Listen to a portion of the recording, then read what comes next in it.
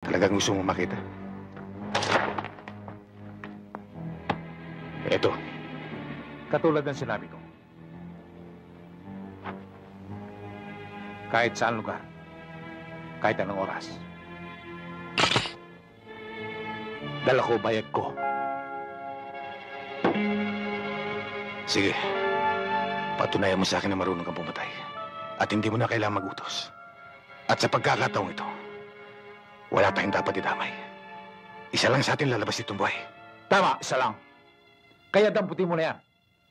At may iiwan ang bangkay mo dito sa Cavite. Para pakapitan ko sa talaba. At maging patabaga sa taho. Ikaw ang bumunot, Bador. Dahil kung dito sa Cavite hindi ka marunong magsimba, sa tundo pagsisimbahin kitang may bulak sa ilong.